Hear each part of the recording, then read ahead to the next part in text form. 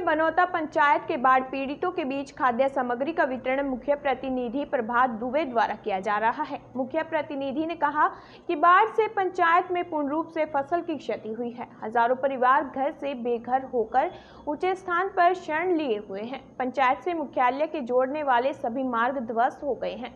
बाढ़ पीड़ितों के लिए सरकारी स्तर से सामूहिक भोजनालय की व्यवस्था करा, भोजन उपलब्ध कराने तथा आज भी जरूरतमंद लोगों के बीच सूखा खाद्य सामग्री वितरण करने की बातें कही। उन्होंने बाढ़ कम होते ही सड़क मरम्मत कराने का आश्वासन दिया।